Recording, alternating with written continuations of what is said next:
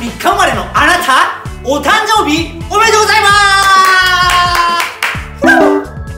お花大好きお花くんこと神宮寺七丸です。さあ2月3日あなたの誕生花は節分草です。はい来ました。もう2月3日といえば節分。そこで誕生花は節分草。これがですねまさにまあその名の通り節分の時期に咲くお花なんです。これね僕実際あの生で見に行ってこの写真僕のが出てると思います。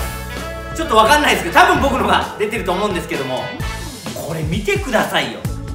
この小さくて可愛らしいお花。これが節分草。これね植物園で見たんですけど本当に探すの大変でしたよ。なかなか見つからなくて。ようやく見つけたらこんなちっちゃなお花。ほんと可愛らしいお花。節分草あなたの誕生花です。花言葉は人間嫌いです。いやなぜでしょう？どうしました？まあねでもねこのお花見てると分かりますよ。人間がやっぱ怖いんでしょ。本当にこんなちっちゃなね可愛らしいお花なんで人間がモンスターに見えるんです。確かにね人間っていうのは考えたらモンスターですよ。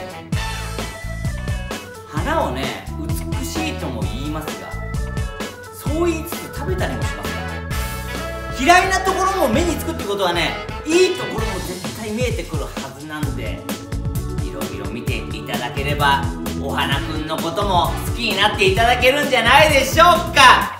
おめでとうございます。